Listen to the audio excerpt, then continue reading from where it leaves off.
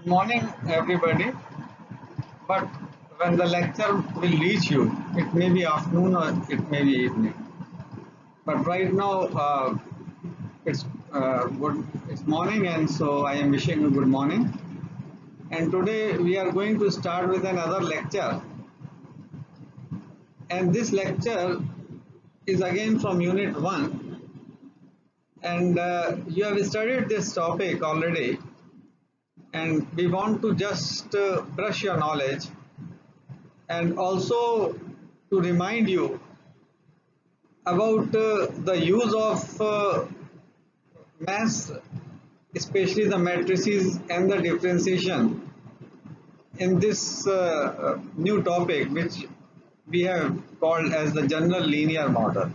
In short we simply write as GLM तो ये याद रखिएगा कि ये जनरल लीनियर मॉडल का पार्ट है जीएलएम इसे हम शॉर्ट में बोलते हैं। क्योंकि तो बहुत सी टर्मिनोलॉजी इतनी कॉमन हो जाती है कि आ, उसको फुल फॉर्म बोलना जो है इंसान भूल जाता है। जैसे प्लस वन की जगह हम लोग खाली वन बोलते हैं। प्लस टू की जगह खाली टू बोलते हैं। तो कई बार ऐसा होता है कि आ, when we talk uh, with the students, we call it simply as the GLM. General linear model इसका फुल फॉर्म है जनरल लीनियर मॉडल लेकिन आपको जीएलएम याद रखना पड़ेगा क्योंकि बहुत सी जगह आगे चल के will be using this abbreviation GLM तो it means general linear model general linear model को आप पहले पढ़ चुके हैं, लेकिन एक बार फिर से इसका डिस्कशन करते हैं। और एक नया सिंबल भी यहाँ हमने यूज़ किया हुआ है, पुराने को हटा के। यहाँ पे सबसे ऊपर हमने पहला पॉइंट दिया है GLM is an extension of multiple regression model ये जो जनरल लीनियर मॉडल है, ये मल्टीपल रिग्रेशन मॉडल का ही एक्सटेंशन तो अगर आपने मल्टीपल रिग्रेशन मॉडल अच्छे से पढ़ा है तो जीएलएम समझने में ज़्यादा दिक्कत नहीं आएगी। और यहाँ पे ये बता दें आपको कि जो मल्टीपल रिलेशन मॉडल है, जिसे आपने सेम टू में भी पढ़ा और अभी पिछले लेक्चर में भी हमने B one two point three B one three point two की वैल्यू क्या होगी वो आपको बताई थी। लेकिन जो सेमेस्टर टू में आपने इकोनोमेट्रिक्स पढ़ी है, वो बहुत इंपॉर्टेंट पार्ट है इकोनोमेट्रिक्स का। क्योंकि जनरल लीनियर मॉडल अगर आप समझ जाएँगे तो सॉरी अगर आप मल्टीपल रिग्रेशन मॉडल समझ जाएँगे तो जनरल लीनियर मॉडल में ज़्यादा प्रॉब्लम नहीं है। क्योंकि जितना स्टेटिस्टिकल कंसेप्ट है मैथमेटिकल कंसेप्ट है, वो मल्टीपल रिग्रेशन मॉडल में और मुझे अभी भी अच्छे से याद है, कई स्टूडेंट जो हमारे तैयारी कर रहे हैं, जैसे कुशाग्र हैं सिद्धार्थ हैं, जो कंपटीशन की तैयारी बच्चे कर रहे हैं और भी जो स्टूडेंट्स हैं जो हमसे मिलते रहते हैं। उनसे मैं कहता हूँ कि आप मल्टीपल रिग्रेशन अच्छे से पढ़िए। क्योंकि इंडियन इकोनॉमिक सर्विसेज़ के पेपर जब बच्चे लाते हैं तो मैं देखता हूँ उसमें काफ़ी सवाल मल्टीपल रिग्रेशन मॉडल है। और वो इसलिए रहते हैं क्योंकि वही बुनियाद है रिग्रेशन मॉडल का। जनरल लीनियर मॉडल तो केवल उसका एक्सटेंशन है जो यहाँ पे मैंने लिखा हुआ। तो आपने, आपको जो मल्टीपल रिलेशन मॉडल पढ़ाया था, उसको ध्यान कीजिएगा। जीएलएम भी आपको पढ़ा चुके हैं, उसको भी ध्यान में रखिएगा। और अब इस लेक्चर को हम पिकअप करते हैं। जनरल लीनियर मॉडल जो है it is an extension of multiple regression model where variable Y is dependent इसमें एक वेरिएबल डिपेंडेंट है और उसे हमने वाई से इंडिकेट कर रखा है। और के माइनस वन जो है इंडिपेंडेंट वेरिएबल्स हैं या एक्सप्लेनेटरी वेरिएबल्स हैं।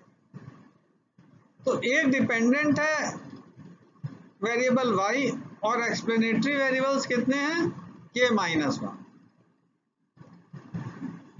K minus one explanatory variables और ये वेरिएबल्स हमने इसीलिए टू से शुरू किए एक छोड़ दिया X one X two X three X four X K तक गया है। क्योंकि ये दो से शुरू है के तक गया है तो के माइनस वन हो गया। एक्स वन छोड़ दिया है, इसलिए वो हटा दीजिए। तो K minus one explanatory variable कह लीजिए या इंडिपेंडेंट वेरिएबल कह लीजिए, उसका अर्थ एक है। कई लोग रिग्रेसर्स भी कहते हैं रिग्रेसर्स हैं इंडिपेंडेंट वेरिएबल है एक्सप्लेनेटरी वेरिएबल है, ये के माइनस वन है, एक डिपेंडेंट वेरिएबल है। तो टोटल नंबर ऑफ़ वेरिएबल्स अगर आप देखेंगे तो के हो जाए। के जो है क्या? टोटल नंबर ऑफ़ वेरिएबल्स और उसमें के माइनस वन एक्सप्लेनेटरी या इंडिपेंडेंट वेरिएबल्स और एक डिपेंडेंट वेरिएबल है Y total number of variables K हैं के माइनस वन एक्सप्लेनेटरी है, एक डिपेंडेंट वेरिएबल है। अब ये जो रिलेशनशिप है डिपेंडेंट वेरिएबल में और इंडिपेंडेंट या एक्सप्लेनेटरी वेरिएबल्स में, और साथ में random term stochastic term U I यानी इन वेरिएबल्स के अलावा भी अगर कोई वेरिएबल है, उनके इफ़ेक्ट को कैप्चर करने के लिए, या कहीं मेज़रमेंट एरर है, या कहीं पे एरर इन एग्रीगेशन है, उन सबको कैप्चर करने के लिए यू आई रेंडम कंपोनेंट एक हमने यहाँ पे जोड़ दिया। तो वही चीज़ यहाँ लिखी है this relationship between dependent and K minus one explanatory variable and the random term is expressed अब नीचे इक्वेशन लिख दिया गया। इक्वेशन क्या लिखी? y equal to B one plus B two X two I B three X three I और इसी तरह से आगे चलेंगे B K X K I plus U I B one क्या है? वाई तो देखिए हो गया डिपेंडेंट वेरिएबल बी वन क्या है? इंटरसेप्ट टर्म है। जहाँ से रिग्रेशन लाइन शुरू होगी। और इसको हम लोग कांस्टेंट टर्म भी कहते हैं। क्योंकि जब आप कंप्यूटर सॉफ्टवेयर पे प्रोग्राम चलाते हैं तो वो आपको कांस्टेंट की वैल्यू देता है, वो बी वन है। और B two B three B K ये रिग्रेशन कोफिशिएंट है। पहले हमने यहाँ बीटा लिया था, लेकिन क्योंकि सिंबल्स थोड़े हमने सिंप्लीफाई कर दिए हैं, इसलिए B two B three B K हमने करके लिया। ये K minus one regression coefficients हैं बी टू बी टू से लेके बी के तक। और बी वन जोड़ लीजिए तो टोटल के रिग्रेशन कोफिशिएंट हो जाएँगे। बी वन इंटरसेप्ट टर्म है, या कांस्टेंट टर्म है B two B three B K ये रिग्रेशन कोफिशिएंट्स हैं जो हर वेरिएबल के साथ एसोसिएटेड एक्स टू के साथ एक्स थ्री के साथ एक्स के साथ। तो ये पैरामीटर्स कहलाते हैं B one B two B three इनको आप रिग्रेशन कोफिशिएंट कह लीजिए या पैरामीटर कह लीजिए। और जब इनके ऊपर हम कैप लगा देते हैं B one cap B two cap तो एस्टिमेट बन जाते हैं। यानी इन पैरामीटर्स की वैल्यू बताएँगे।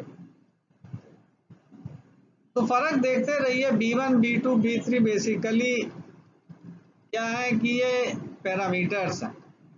और इन पैरामीटर्स के मान को हम कैप से रिप्रेजेंट करते हैं B one cap B two cap B three cap.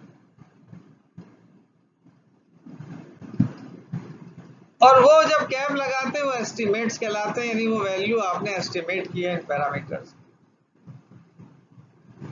और यू आई एरर टर्म है पॉपुलेशन एरर टर्म कहलाता है, या रैंडम टर्म या स्टोकेस्टिक टर्म कह लीजिए। और इसीलिए हम कहते हैं जो इकोनोमेट्रिक मॉडल है, वो स्टोकेस्टिक मॉडल है। तो इस तरह से आप इसे एक्सप्रेस कर सकते हैं। नंबर ऑफ़ वेरिएबल्स इतने ज़्यादा हैं कि यहाँ पे हम लोग जैसे मल्टीपल रिलेशन में डिफ्रेंशिएट करके वैल्यू निकालते थे B one B two B three की, उस तरह से यहाँ नहीं निकल पाएगा। इसे हमें मैट्रिक्स फॉर्म में लाना पड़ेगा। तो ये मैट्रिक्स कैलकुलेशन को सिंप्लीफाई कर देती है। तो आपको थोड़ी मैट्रिक्स की नॉलेज होनी चाहिए। जिन्होंने मैथ्स पहले नहीं पढ़ी, वो थोड़ा मैट्रिक्स पढ़ लें बेसिक रूल्स क्या है मैट्रिक्स के, वो देख लें। जॉन्सन की किताब जो बहुत अच्छी किताब मानी जाती है इसमें, और अगर सेकेंड एडिशन आपको कहीं से मिले तो उसे देखिए, पढ़ने के लिए। और उन्होंने मैट्रिक्स को एक पूरा चैप्टर दिया पूरा क्योंकि उनको पता था कि मैट्रिक्स के बगैर काम नहीं चल सकता आगे तो he has given a full chapter on matrix नए एडिशन में नहीं है, शायद पुराने एडिशन में होगा सेकेंड में। तो मैट्रिक्स की नॉलेज आप कहीं से भी ले सकते हैं, चाहे उस किताब से ले लें या क्योंकि जॉनसन ने तो एट लेंथ उसको डिस्कस किया। जितनी चीज़ों की ज़रूरत पड़नी है, हर बुनियादी चीज़ को उसमें कवर किया। हर बेसिक फंडामेंटल को वहाँ कवर करना।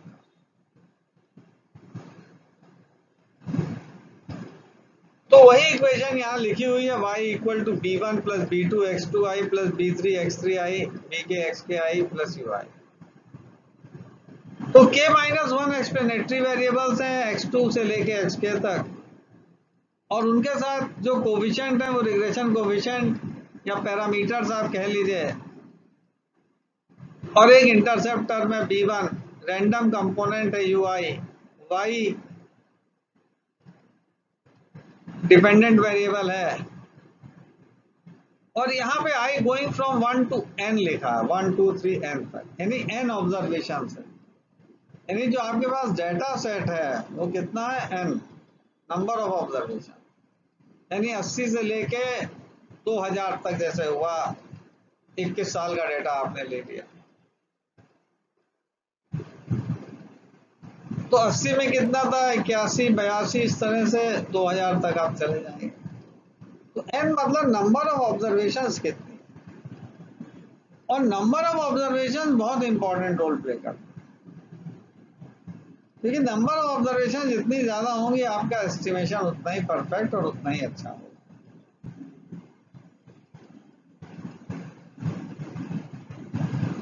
अब इसे हम मैट्रिक्स फॉर्म में एक्सप्रेस करना चाह रहे हैं मॉडल को। इस फॉर्म में मैट्रिक्स तो मैट्रिक्स में हम खाली लिख देते हैं, y equal to X B plus U y भी एक मैट्रिक्स है, x एक मैट्रिक्स है b एक मैट्रिक्स और u एक मैट्रिक्स सबको हमने मैट्रिक्स फॉर्म में डाल दिया। और मैट्रिक्स फॉर्म में देखिए, इतनी बड़ी इक्वेशन को तीन टर्म में बता दिया Y equal to X B plus U Y matrix है, यहाँ लिखा हुआ है Y and U are column vectors column vector का मतलब है y1, y2, y3 एक कॉलम में लाई कर रहा है। और कुछ नहीं है। एक कॉलम है और n रोज है। n रोज एक कॉलम। इसी तरह से u, u1, u2, un एक कॉलम है और n रोज है। y और u कॉलम वेक्टर्स हैं। बीटा भी कॉलम वेक्टर है लेकिन k टर्म्स हैं क्योंकि b1 b2 bk तक गया। एक इंटरसेप्टर में और बाकी पैरामीटर्स है रिग्रेशन कोफिशिएंट्स उसे कहते हैं, जो एक्स के साथ एसोसिएटेड तो बी कॉलम वेक्टर है, लेकिन वहाँ नंबर ऑफ़ टर्म्स कितने हैं? के तो बी कॉलम वेक्टर है नंबर ऑफ़ टर्म्स के हैं वाई यू कॉलम वेक्टर है of N observation X matrix है K by N order x बड़ी matrix is matrix of k by N order यानी k rows है और k columns हैं और बेसिकली n जो रोज हैं. तो केवल एन ऑर्डर की यहाँ पे मैट्रिक्स है एक्स बड़ी मैट्रिक्स है, अभी हम आगे उसको दिखाएँगे, आपसे फिर ज़िक्र करेंगे। तो y equal to X B plus U ये मैट्रिक्स फॉर्म में हम इसे एक्सप्रेस कर रहे हैं। और उसी चीज़ को यहाँ मैंने लिख भी दिया है, क्योंकि वहाँ जगह नहीं थी, कि suffix of matrix X do not follow usual notation pattern rather, rows and columns indicated by the suffix are altered. उसको बदल दिया गया। वही चीज़ जो पहले बताई so that each column could portray all on n observations, ताकि एक कॉलम में पूरी एन ऑब्जर्वेशन आ जाए उस वेरिएबल की। Of each k minus 1 explanatory value while the first column of unity is inserted to take account of B one which is the interceptor वो interceptor में या कॉन्स्टेंट वो जो चीज़ वहाँ समझाई, उसी चीज़ को यहाँ हम लिख भी दे रहे हैं। इसलिए कि अगर मान लीजिए कि आपसे स्किप हो जाए वहाँ तो उस चीज़ को यहाँ पढ़ सकते तो स्लाइड शो मुझे थोड़ा सा बड़ा करना भी पड़ता है कई जगह पे, ताकि कोई चीज़ छूटे ना। क्योंकि एज स्टूडेंट आप तक हम अपनी बात पूरी कोशिश कर रहे हैं कि पहुँच जाए। And you should be able to follow and understand लेकिन जब आप नोट्स बनाएँ तो ये लिखने का ज़रूरत नहीं है या स्लाइड को देने की ज़रूरत नहीं है। पिछली वाली स्लाइड से पूरा काम चल जाए उसी में आप थोड़ा सा समझा सकते इस स्लाइड में मैटर कंडेंस बहुत कंडेंस नहीं कर सकते। हम 36 का फॉन्ट इस्तेमाल कर रहे हैं ताकि आप पढ़ लें। अगर हम छोटा फॉन्ट इस्तेमाल करेंगे तो आपको पढ़ने में दिक्कत हो। तो जब नोट्स बनाए तो आप ये हिस्सा छोड़ सकते हैं वहाँ। ये आपको समझाने के लिए लिखा गया। उससे आपका काम चल जाएगा जो पिछली साइड तो कई जगह we have to overdo the thing just to make the our expression more clear and more obvious and more understandable to all the students क्योंकि कुछ बच्चे मैथ्स अच्छा करते हैं कुछ मैथ्स में नहीं अच्छे तो that each one could follow also. अब ये जो पैरामीटर्स हमने बताया B1, B2, B, B के तक जो पैरामीटर्स के हैं। इनको हम एस्टिमेट करेंगे।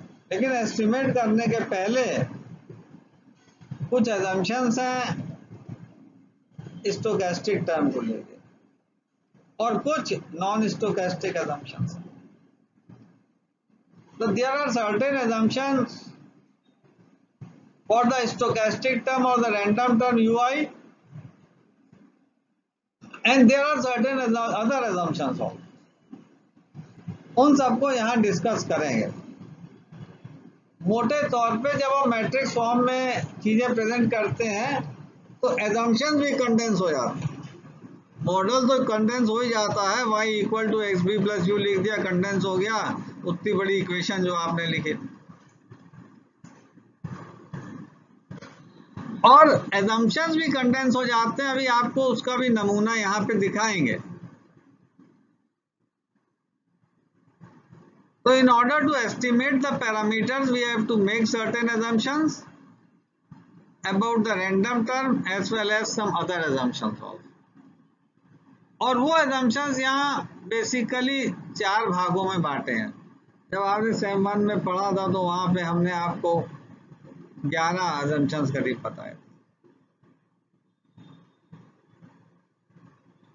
क्योंकि बच्चे को बहुत ज़्यादा उंगली पकड़ के चलाना पड़ता है। लेकिन जब बच्चा बड़ा हो जाए तो ज़्यादा उंगली पकड़ने की ज़रूरत नहीं है वो खुद भी थोड़ा उसमें समझ आ जाती है तो आप थोड़ा बताएँगे, वो ज़्यादा समझे लेकिन समझने का अर्थ यह नहीं कि आप लिखना बंद कर दें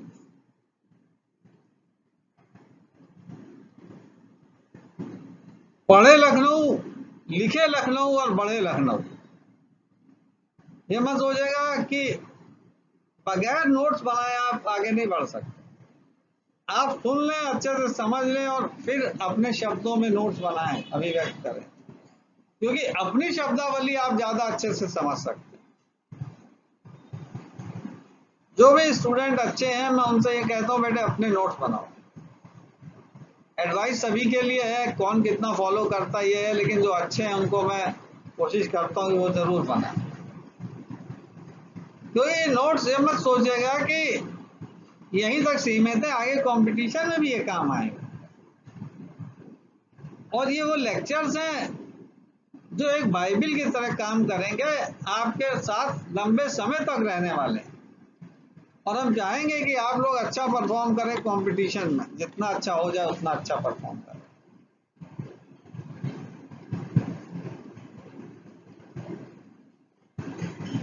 कंपटीशन अब बहुत आसान नहीं है। You have to work very hard अब एजम्पन्स पर चलते हैं। मीन पहला एजम्पन देखेगा one mean of error term is zero जो एरर टर्म है, उसका मीन ज़ीरो क्योंकि एरर टर्म है क्या? Actual value minus mean value तो कुछ प्लस वैल्यूज़ आएँगी और कुछ माइनस आएँगी। और उनका सम करेंगे तो ज़ीरो क्योंकि एक स्टैंडर्ड थ्योरम है कि sum of the deviation around mean is always तो एरर टर्म बेसिकली मीन से डेविएशंस हैं।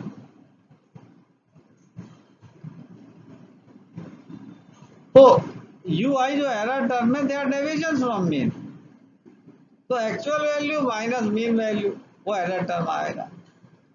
वो एरर टर्म प्लस आएँगे और कुछ माइनस जब जोड़ेंगे ज़ीरो हो जाएगा।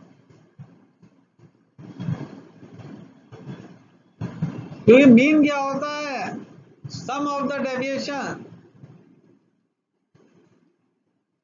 upon total number of observation तो जब समी ज़ीरो हो गया तो क्या? मीन तो ज़ीरो हो ही गया।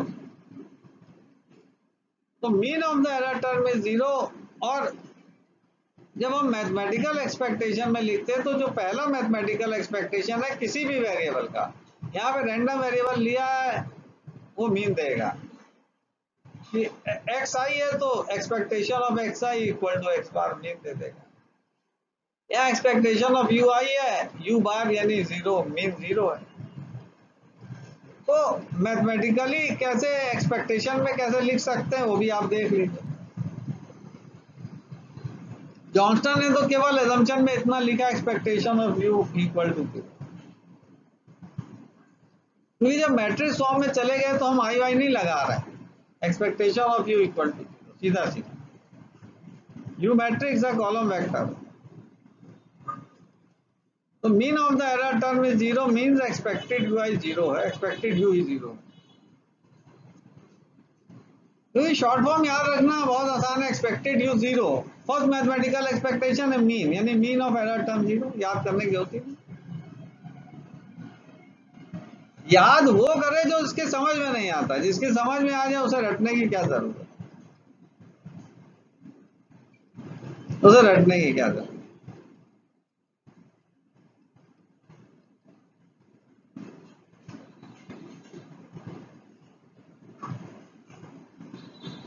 तो mean of the error term is zero expected u equal to zero दूसरा एजम्पशन है variance of error term is constant variance expected जो सेकंड मैथमेटिकल एक्सपेक्टेशन है expected u i minus u bar का whole square u bar zero है तो expected you I square हो गया। Mean zero है। तो variance of error term is constant and is sigma square इसका साइन बना हुआ है सिग्मा का साइन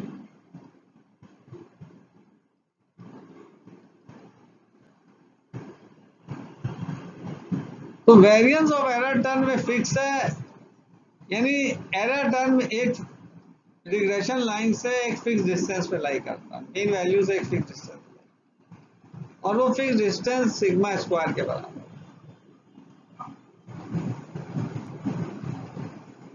और दूसरा है while its covariances are zero covariances मतलब expected u i u j यानी u i minus u bar u j minus u bar covariance यानी पहली ऑब्जर्वेशन और दूसरी ऑब्जर्वेशन का जॉइंट वेरिएशन जो है, वो हम जान रहे हैं तो u i minus u bar u j minus u bar u bar zero है तो expected u i u j हो गया। Expected u i u j covariance u i covariance u i u j zero है मतलब you आई और you J independent है orthogonal है। Independent है ऑर्थोगोनल है दे हैव नो रिलेशनशिप उनमें कोई कोरिलेशन नहीं। तो while its covariances are zero means there is no correlation between random terms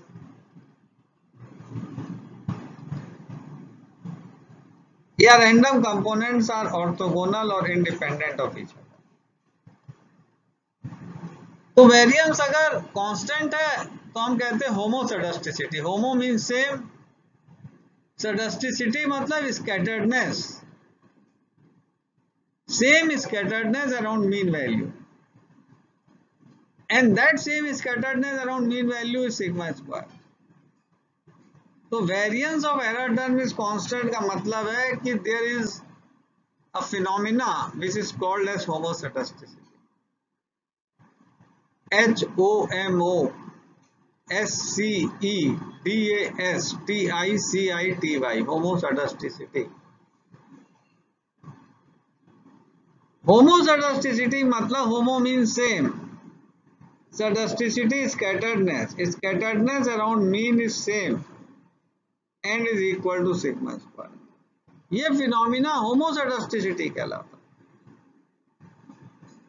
कोवेरियंसेस are zero मतलब जो रैंडम कंपोनेंट्स हैं दे आर इंडिपेंडेंट और orthogonal there is no correlation between random components उनमें आपस में कोई सा संबंध नहीं।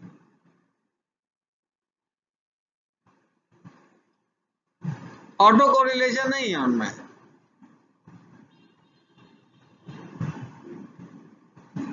तो इस चीज़ को हमने यहाँ भी लिखा हुआ है मैट्रिक्स फॉर्म में भी उसे समझाया है बाद में। लेकिन पहले एजम्पन आपको बता दिया है कि एजम्पन यहाँ पे ये है कि वेरिएंस कांस्टेंट है। और ऑटो कोरिलेशन एबसेंट। और वेरियस कांस्टेंट का मतलब है होमोसेडस्टिसिटी है। हीट्रोसेडस्टिसिटी नहीं है। Hetero means different different scatteredness नहीं है। तो देर इज़ अ phenomena of homoscedasticity which implies there is no heterosedasticity and there is no correlation among random terms absence of autocorrelation तो ये जो एक यहाँ पे एजम्पन लिखा है, ये दो चीज़ें बता रहा है। Absence of heteroscedasticity and absence of autocorrelation अब मैट्रिक्स फॉर्म में चलते हैं। मैट्रिक्स फॉर्म में जब आप यू आई स्क्वायर है, यानी u i into u i u i minus u bar का whole square u bar zero है तो यू आई स्क्वायर हो गया u i into u i लेकिन मैट्रिक्स में मल्टीप्लीकेशन इस तरह से नहीं होता। वहाँ पर हमें एक नियम चलाना पड़ता। है नियम यह है कि column of first matrix equal to row of the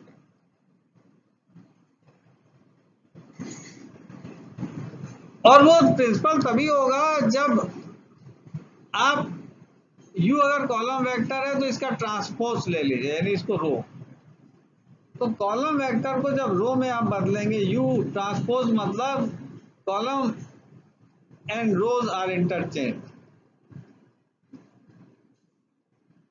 तो यू डैश जो लिखा है यू डैश को हम लोग ट्रांसपोज बोल तो u u dash means u u transpose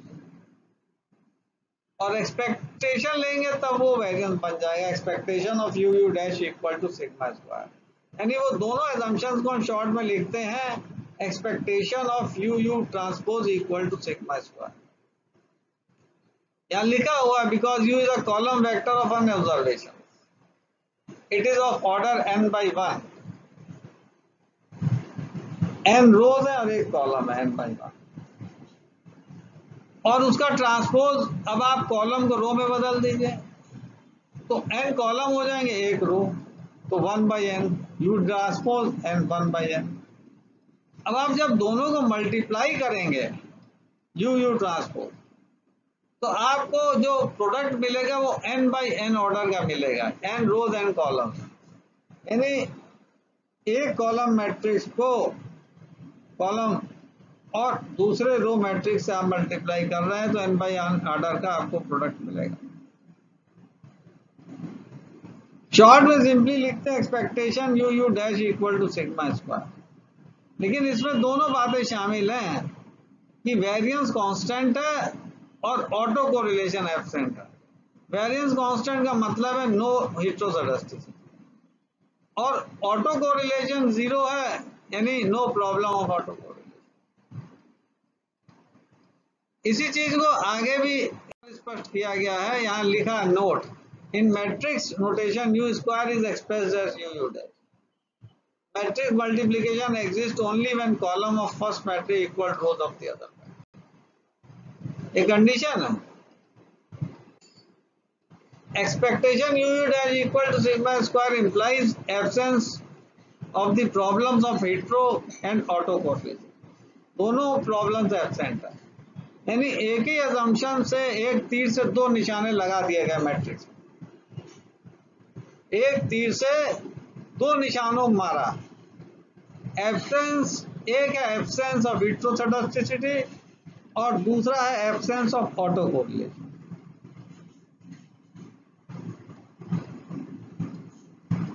एक तीर से यहाँ पे दो निशाने लगाए जाए।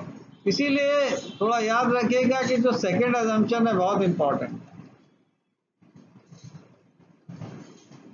expectation u u dash equal to sigma square का मतलब केवल ये मत समझ लीजिएगा कि वेरिएंस कांस्टेंट है। होमोसेडस्टिसिटी है।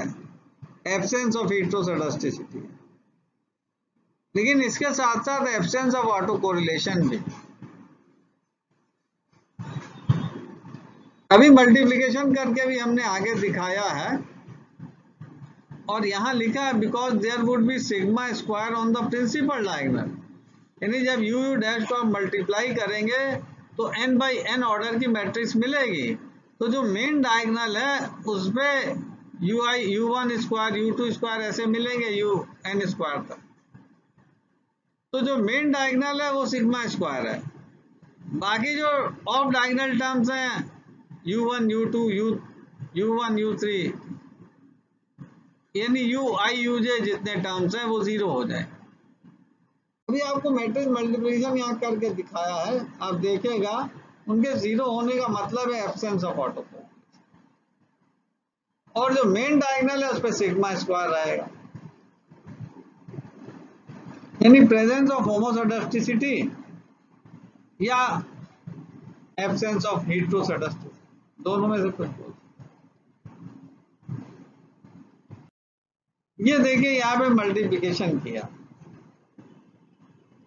मैट्रिक्स फॉर्म में आपके लिए रखा है।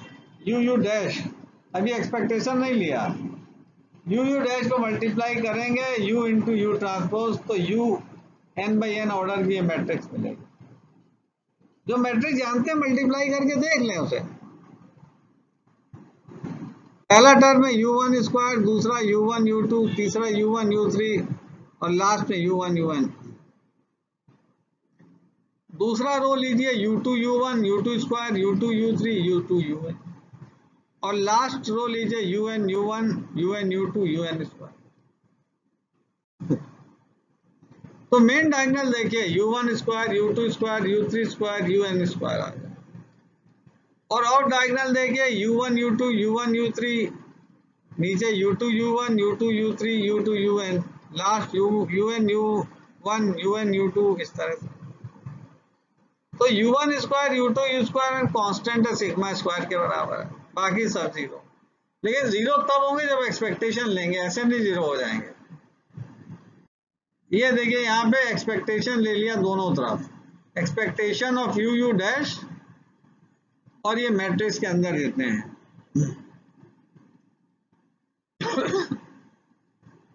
Expectation of u one square expectation of u one u two expectation of u one square u two square u n square ये सिग्मा स्क्वायर ये जब एक्सपेक्टेशन लेंगे, तब आप उसके बाद सिग्मा स्क्वायर लिख सकते हैं। और बाकी को वेरियंसेस हैं expectation u one u two u one u three वो ज़ीरो हो जाएँगे। तो off diagonal terms of zero main diagonal sigma square है इसको हमने नेक्स्ट स्लाइड में यहाँ लिखा हुआ है on the principal diagonal expected ui square is variance and is constant equal to sigma square indicating absence of heteroscedasticity or presence of homoscedasticity off diagonal elements are expectation of ui uj auto covariance and are zero because random terms of different observations are independent. अब ये values हम matrix में रख दें तो ये matrix आपको मिलेगी। सिग्मा स्क्वायर मेन डायगनल पे है, बाकी सब ज़ीरो बाकी सब ज़ीरो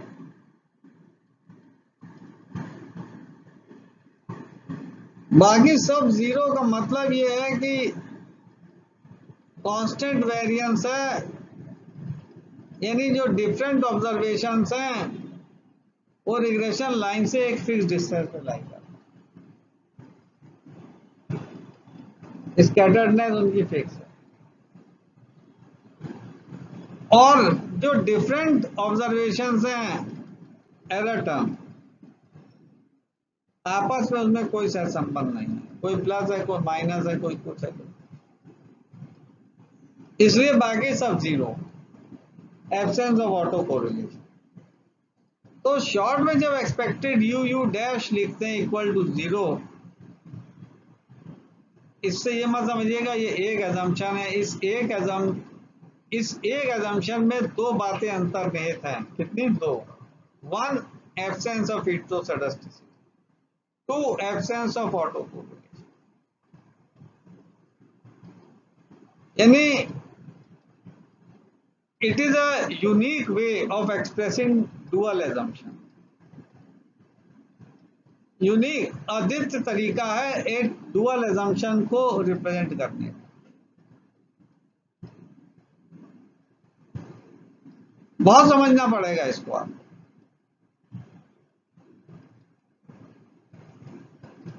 तो आज हम इसको यहाँ पे रोकते हैं इसको फिर आगे बढ़ाते हैं नेक्स्ट लेक्चर जब भी होगा। और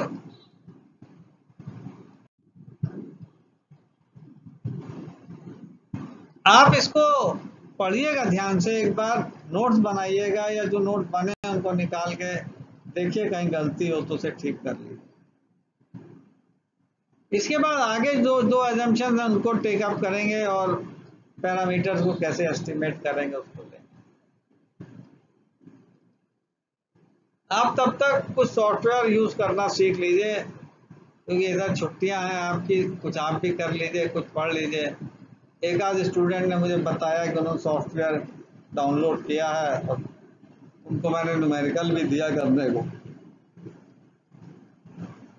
तो आप रिज़ल्ट भी जो उन्होंने निकाले, उसका इंटरप्रिटेशन मैंने बताया आपसे बच्चे तो जो स्टूडेंट इकोनोमेट्रिक्स है, हमारे चौदह पंद्रह जो भी बैच हैं आप ई व्यूज़ है मिनी टैब है, या स्टेटिस्टिका कोई एक डाउनलोड कर लीजिए और यूज़ करिए अच्छा लगे तो उसे परचेज कर लीजिए। सिक्स मंथ्स के लिए आप परचेज कर सकते कॉस्टली सॉफ्टवेयर है, बहुत कॉस्टली सॉफ्टवेयर है। और ई व्यूज़ जैसे अभी पहले दो साल के लिए वो फ्री करते थे, अब छह महीने के लिए करते कोई भी एक सॉफ्टवेयर यूज़ कीजिए कीजिए ज़रूर, क्योंकि जो आप प्रैक्टिस पढ़ रहे थ्योरी पढ़ रहे हैं, उसको प्रैक्टिस भी जान लीजिए ना, क्या है। ये आपके हित के लिए है। कल को, क्योंकि आप केवल सॉफ्टवेयर नहीं आपको एक्सेल भी चलाना आएगा। क्योंकि कोई भी सॉफ्टवेयर जो आप यूज़ करेंगे, बगैर एक्सेल के नहीं हो सकता। डाटा जितना भी उसकी प्रोसेसिंग एक्सेल में ही है, बाकी आप सॉफ्टवेयर लगाएँगे रिग्रेशन मॉडल लगाएगा तो आप डायरेक्ट रिज़ल्ट मिल जाएगा। और उस रिज़ल्ट को पढ़ना सीख लीजिए।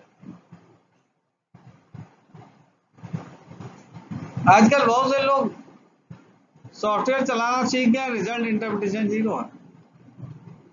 जो कंप्यूटर दे दे उसे मान लेते हैं, सही भले वो गलत क्योंकि डेटा आप फ़ीड कर रहे हैं। जो आप फ़ीड करेंगे, वैसा आउटपुट आएगा कंप्यूटर की गलती नहीं है।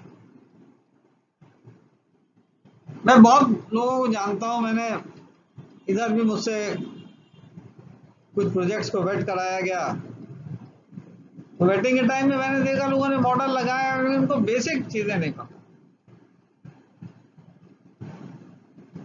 आप स्टूडेंट हैं, आपको बेसिक पता होना चाहिए। और तब इंटरप्रिटेशन जब आप करेंगे, फिर आप अपने आप इंफ्रेंस ड्रॉ कर सकते हैं।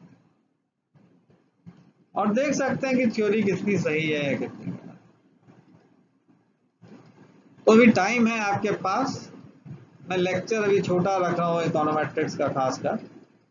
क्योंकि ये मैट्रिक्स वगैरह बनाने में बहुत ज़्यादा टाइम लगता है। एक लेक्चर बनाने में मैंने बताया, बहुत टाइम लग रहा है तो मैं कंडेंस या छोटा रख रहा हूँ ताकि आप उसे समझ भी लें आसानी से। और नोटेशन भी ठीक आपके पास चले जाए, कोई गलती ना रहे मेरी तरफ़ से। लेकिन प्रोसेसिंग इतनी ज़्यादा है, गलती हो सकती है, आप कॉशियस रहिए, देखिए कोई गलती लगे, आप बताइए किताबें मैंने यहाँ दे दी हैं, और जॉनसन सेकेंड एडिशन में जीएलएम बहुत अच्छा दिया जनरल मिल जाए तो से। और ये मैंने यहाँ दिया है फोर्थ एडिशन दिया जॉनसन डेनार्डो का। आगे चल के फोर्थ एडिशन भी काम आएगा। और गुजरातर, गुजराती पोर्टर और गुनाशेखर, ये भी किताब बहुत अच्छी जो मुझे अच्छी लगी और भी अच्छी अच्छी किताब तो कोई भी एक किताब लेके आप पढ़िए, जो आपको यहाँ नोट दिए, ये पढ़िए। और देखिए सर ने जो बताया कितना आप सीख पाते सॉफ्टवेयर चलाइए बार बार मैं कह रहा हूँ सॉफ्टवेयर आप फ़ोन कीजिए, हम आपको बता देंगे। आप सॉफ्टवेयर पहले कोई भी एक डाउनलोड कर thanks and good wishes to you आप में से बहुत अच्छे अच्छे मैसेजेस टीचर्स डे में आए। और, मेरा शुक्रिया आप सबको। जिन्होंने भी टीचर्स डे पे विश किया और जिन्होंने टीचर को मन में याद किया है every one to all my students तो ये कई लोग एक्सप्रेस नहीं करते but they remember their teachers very well तो it does not matter whether you wish whether you don't wish लेकिन कुछ मैसेजेस बहुत अच्छे हैं। बहुत अच्छे हैं और कभी मौका लगेगा तो हम आपसे शेयर भी कर सकते हैं। बहुत अच्छे मैसेज भेजे। और आ, कई बहुत पुराने स्टूडेंट भी हैं जो आजकल नीति आयोग में हैं डायरेक्टर डिप्टी उन्होंने भी मुझे बहुत मैसेज किए। तो my thanks to every one every every student और my blessings are also with them और मैं चाहूँगा कि जो स्टूडेंट्स अभी हमारे पढ़ रहे हैं आ, कल को जाएँगे अगर नीति आयोग में तो आपको सॉफ्टवेयर आना चाहिए। चलाना कोई भी जॉब में आप जाएँगे you need to know how to handle any software तो आ, अभी छुट्टी है आप अपना टाइम वहाँ एंजॉय भी कर सकते हैं सॉफ्टवेयर तो माय गुड विशेस और अपना फीडबैक देते रहिएगा कि ये लेक्चर समझ में आ रहा है कि नहीं इतना ज़रूर बताइए क्योंकि आप चौदह पंद्रह लोग हैं एडवांस इकोनोमेट्रिक्स में इतना बता सकते हैं और अगर समझ में आ रहा है तो बहुत अच्छा है और यूनिवर्सिटी एक लर्निंग मैनेजमेंट सिस्टम बना रहा है, देखते हैं कब शुरू होता है कैसे वो पैटर्न रहेगा या ये रहेगा we have to wait and watch okay good bye good luck good wishes give your feedback whether you have understood the lecture or not. Okay.